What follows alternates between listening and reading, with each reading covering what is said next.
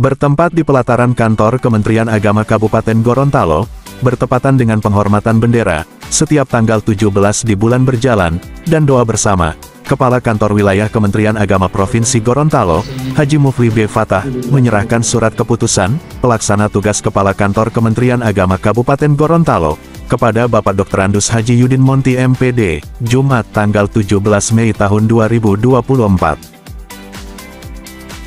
Penyerahan SK pelaksana tugas tersebut, disaksikan oleh seluruh pejabat eselon 4, kelompok kerja pengawas, JFT dan JFU, serta tenaga honorer di lingkungan kantor Kementerian Agama Kabupaten Gorontalo.